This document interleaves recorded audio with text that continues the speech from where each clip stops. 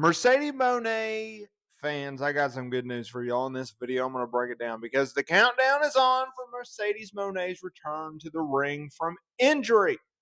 Former Sasha Banks is expected to make a return from injury soon for New Japan Pro Wrestling, as she's still under contract with the promotion. She's also expected to make her AEW debut when she's back as a former WWE star was seen on camera in the crowd at All In from Wembley Stadium back in August. Now, look, it's believed that she would have actually made her debut for All Elite Wrestling at the TD Garden for the Blood and Guts episode of Dynamite in her hometown of Boston, Massachusetts, if she had not been injured.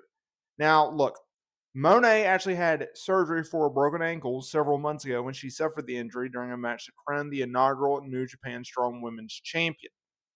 She was originally slated to go over in the bout before nixing those plans on the fly in the match. Props to her.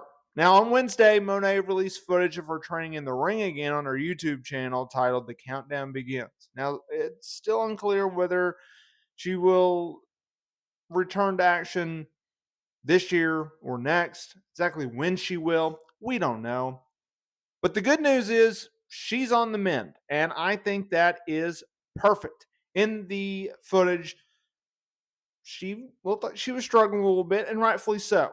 She's coming back from an injury. She's back in the ring. She's thrown herself at the ground essentially, and it's difficult. But what she's going to be able to do once she comes back is very interesting because and, and impactful. It's going to be impactful for the wrestling business because when she and Naomi, aka Trinity Fatu, got their WWE releases in 2022, Moné went to New Japan and made a statement right out of the gate.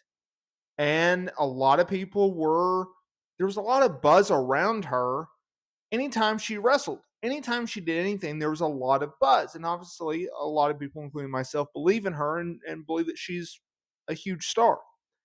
And the idea of her going to an AEW, well, it intrigued a lot of people the potential you know matches that she could have with the Britt Bakers at the time, Jade Cargills, your Toni Storms, your Julia Harts, etc. Right?